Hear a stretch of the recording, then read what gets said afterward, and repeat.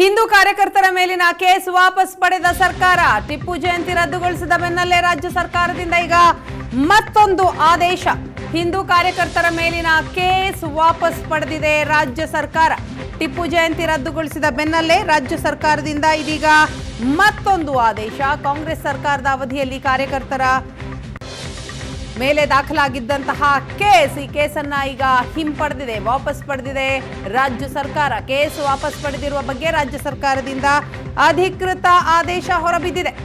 Case ವಾಪಸ್ ಪಡೆದ ಕುರಿತಾಗಿ ರಾಜ್ಯ ಸರ್ಕಾರದಿಂದ ಅಧಿಕೃತ ಆದೇಶ ಈಗ ಹೊರಬಿದ್ದಿರುವಂಥದ್ದು. ಕೇಸ್ ವಾಪಸ್ ಪಡೆದ ಸರ್ಕಾರದ ಆದೇಶ ಪ್ರತಿ ಸುವರ್ಣ ನ್ಯೂಸ್ಗೆ ಲಭ್ಯವಾಗಿದೆ. ಹಿಂದೂ ಕಾರ್ಯಕರ್ತರ ಎರಡು ಸಾವಿರ ಕೇಸ್ ವಾಪಸ್ ಪಡೆದ ಸರ್ಕಾರ. ಕಾಂಗ್ರೆಸ್ ಹಾಗೂ ಮೈತ್ರಿ ಸರ್ಕಾರದಲ್ಲಿ ದಾಖಲಾಗಿದ್ದಂತಹ ಕೇಸ್ಗಳಿವು. ಈ ಕೇಸ್ಗಳನ್ನ ಈಗ ವಾಪಸ್ ಪಡೆದಿದೆ ರಾಜ್ಯ ಸರ್ಕಾರ. ಟಿಪ್ಪು ಜಯಂತಿ ಹಾಗೂ ಮೆಸ್ತಾ ಸಾವಿನ ಪ್ರತಿಭಟನೆ.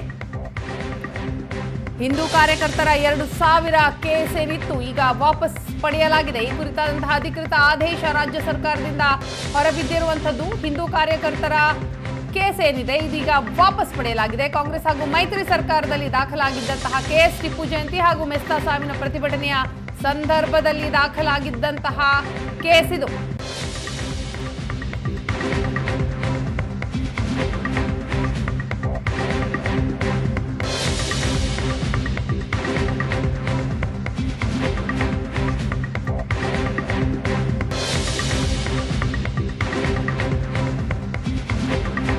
ಬಿಜೆಪಿ ಸರ್ಕಾರ ಅಸ್ತಿತ್ವಕ್ಕೆ ಬಂದ ಬೆನ್ನಲ್ಲೇ ಹಿಂದಿನ ಕಾಂಗ್ರೆಸ್ ಸರ್ಕಾರದ ಅವಧಿಯಲ್ಲಿ ಏನು ರಾಜ್ಯದಾದ್ಯಂತ ವಿವಿಧ ಪ್ರಕರಣಕ್ಕೆ ಸಂಬಂಧಿಸಿದಂತೆ ಹಿಂದೂ ಸಂಘಟನೆಗಳ ಕಾರ್ಯಕರ್ತರ ವಿರುದ್ಧ ದಾಖಲಾಗಿರುವಂತಹ ಕೇಸನ್ನ ವಾಪಸ್ ಪಡೆಯಲಾಗಿದೆ. ರಾಜ್ಯ ಸರ್ಕಾರ ವಾಪಸ್ ಪಡೆದು ಆದೇಶವನ್ನ ನೀಡಿರುವಂತದ್ದು ಹಿಂದೂ ಕಾರ್ಯಕರ್ತರ ಎರಡು ಸಾವಿರ ಕೇಸ್ ವಾಪಸ್ ಪಡೆದಿದೆ. ರಾಜ್ಯ ಬಿಜೆಪಿ ಸರ್ಕಾರ, ಕಾಂಗ್ರೆಸ್ ಹಾಗೂ ಮೈತ್ರಿ ಸರ್ಕಾರದಲ್ಲಿ ದಾಖಲಾಗಿದ್ದಂತಹ ಕೇಸ್ಗಳಿವು. ಟಿಪ್ಪು ಜಯಂತಿ ಹಾಗೂ ಮೆಸ್ತಾ ಸಾವಿನ ಪ್ರತಿಭಟನೆಯ ಸಂದರ್ಭದಲ್ಲಿ ದಾಖಲಾಗಿದ್ದಂತಹ ಕೇಸ್ಗಳಿದು. ಈ ಬಗ್ಗೆ ಇನ್ನಷ್ಟು ಮಾಹಿತಿಯನ್ನು ಕೊಡ್ತಾರೆ ನಮ್ಮ ಪ್ರತಿನಿಧಿ ಸುರೇಶ್. ಇದೀಗ ನಮ್ಮ ಜೊತೆ ಸಂಪರ್ಕದಲ್ಲಿದ್ದಾರೆ.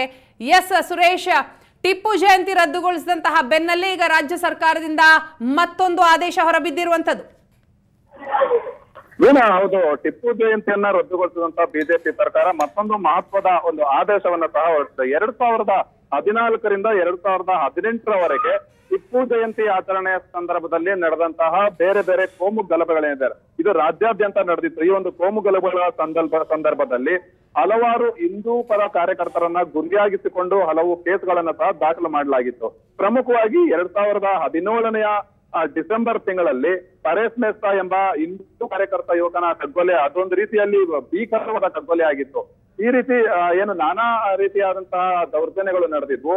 ಆ ಎಲ್ಲಾ ಜನಗಳ ಬಗ್ಗೆ ಗಮನವನ್ನ ಸೆಳೆದು ಮುಖ್ಯಮಂತ್ರಿ ಬಿ ಎಸ್ ಯಡಿಯೂರಪ್ಪನವರಿಗೆ ಬೇರೆ ಬೇರೆ ಶಾಸಕರು ಪತ್ರವನ್ನ ಬರೆದಿದ್ರು. ಕೆ ಜಿ ಬೋಪಯ್ಯ ರೂಪಾಲಿ ನಾಯಕ್ ಸೇರಿದಂತೆ ಹಲವು ಶಾಸಕರು ಆ, ಮುಖ್ಯಮಂತ್ರಿಗಳಿಗೆ ಪತ್ರವನ್ನ ಬರೆದು ಹಿಂದೂ ಕಾರ್ಯಕರ್ತರ ಮೇಲೆ ದಾಖಲಾಗಿರುವಂತಹ ಕೇಸ್ಗಳನ್ನ ವಾಪಸ್ ಪಡೆಯುವಂತೆ ಒಂದು ಮನವಿಯನ್ನ ಸಹ ಮಾಡಿದ್ರು. ಆ ಮುಖ್ಯಮಂತ್ರಿ ಬಿ ಎಸ್ ಯಡಿಯೂರಪ್ಪನವರು ಒಂದು ಆದೇಶವನ್ನ ಹೊರಡಿಸಿರುವಂತದ್ದು ಮುಖ್ಯಮಂತ್ರಿಯವರ ಕಾರ್ಯದರ್ಶಿ ಸೆಲ್ವಕುಮಾರ್ ಅವರಿಗೆ ಇದ್ರ ಬಗ್ಗೆ ಒಂದು ಸ್ಪಷ್ಟ ನಿರ್ದೇಶನವನ್ನು ಶಾಸಕರ ಪತ್ರಗಳನ್ನ ಪರಿಗಣಿಸಿ, ಸೂಕ್ತ ಕ್ರಮಗಳನ್ನ ಜರುಗಿಸಿ ಅನ್ನುವಂತ ಒಂದು ನಿರ್ದೇಶನವನ್ನ ನೀಡ್ತಾರೆ. ಅದರಂತೆ ಇದೀಗ ಹಿಂದೂ ಕಾರ್ಯಕರ್ತರ ಮೇಲೆ ದಾಖಲಾಗಿರುವ ಎಲ್ಲಾ ಕೇಸ್ಗಳನ್ನ ಸುಮಾರು ಎರಡು ಸಾವಿರ ಕೇಸ್ಗಳನ್ನ ಸದ್ಯಕ್ಕೆ ವಾಪಸ್ ಪಡೆದಿರುವಂತದ್ದು ವೀಣಾ ಎಸ್ ಸುರೇಶ್ ಈಗ ಸುಮಾರು ಎರಡು ಸಾವಿರ ಹಿಂದೂ ಕಾರ್ಯಕರ್ತರ ಕೇಸ್ ವಾಪಸ್ ಪಡೆಯೋದಕ್ಕೆ ಈಗ ರಾಜ್ಯ ಸರ್ಕಾರವು ಕೂಡ ಆದೇಶವನ್ನ ಕೊಟ್ಟಿರುವಂತದ್ದು ಸೊ ಯಾವ ಯಾವ ಪ್ರಕರಣಕ್ಕೆ ಸಂಬಂಧಿಸಿದಂತಹ ಕೇಸ್ಗಳು ಇದಾಗಿರತ್ತೆ? ಇದರ ಬಗ್ಗೆ ಅಪ್ಡೇಟ್ಸ್ ಕೊಡೋದಾದ್ರೆ. ನಾನು ಈಗಾಗಲೇ ಹೇಳಿದಂತೆ ಎರಡ್ ಸಾವಿರದ ಹದಿನಾಲ್ಕರಿಂದ ಎರಡ್ ಸಾವಿರದ ಹದಿನೆಂಟರವರೆಗೆ ಟಿಪ್ಪು ಜಯಂತಿ ಸಂದರ್ಭದಲ್ಲಿ ನಡೆದಂತಹ ಕೋಮು ಗಲಭೆಗಳು ಆ ಒಂದು ಗಲಭೆಗಳ ಸಂದರ್ಭದಲ್ಲಿ ಏನು ಹಿಂದೂ ಪರ ಕಾರ್ಯಕರ್ತರನ್ನ ಗುರಿಯಾಗಿಸಿಕೊಂಡು ಅವರ ಮೇಲೆ ಕೇಸ್ಗಳನ್ನ ದಾಖಲು ಮಾಡಲಾಗಿದೆ. ರೀತಿ ವಿನಾಕಾರಣ ಆಗಿನ ಸರ್ಕಾರ, ಹಿಂದೂ ಕಾರ್ಯಕರ್ತರನ್ನ ಗುರಿಯಾಗಿಸಿಕೊಂಡು ಒಂದ್ ರೀತಿ ದ್ವೇಷದ ರಾಜಕಾರಣವನ್ನ ಮಾಡಿದೆ ಅನ್ನುವಂಥದ್ದು ಈ ಒಂದು ಶಾಸಕರ ನೇರ ಆರೋಪ. ಹಾಗಾಗಿ ಆ ಒಂದು ಕಾರ್ಯಕರ್ತರ ಮೇಲೆ ದಾಖಲಾಗಿದ್ದಂತಹ ಕೇಸ್ಗಳನ್ನ ವಾಪಸ್ ಪಡಿಬೇಕು ಅಂತ ಆಗಾಗ್ಗೆ ಬಿಜೆಪಿ ಅವರು ವಿರೋಧ ಪಕ್ಷದಲ್ಲಿದ್ದಾಗಲೂ ಸಹ ಒತ್ತಾಯ ಮಾಡ್ತಾ ಇದ್ರು, ಆದ್ರೆ ಆಗಿನ ಸರ್ಕಾರ ಅದನ್ನ ವಾಪಸ್ ಪಡೆದಿರ್ಲಿಲ್ಲ. ಈಗ ಬಿಜೆಪಿ ಸರ್ಕಾರವೇ ಆ ರಾಜ್ಯದಲ್ಲಿ ಅಧಿಕಾರ ನಡೆಸ್ತಾ ಇರೋದ್ರಿಂದ ಅಧಿಕಾರಕ್ಕೆ ಬಂದ ತಕ್ಷಣ ಒಂದು ಟಿಪ್ಪು ಜಯಂತಿಯನ್ನ ರದ್ದು ಮಾಡಿ ಒಂದು ಮಹತ್ವದ ಆದೇಶನ ಹೊರಡಿಸಿತ್ತು.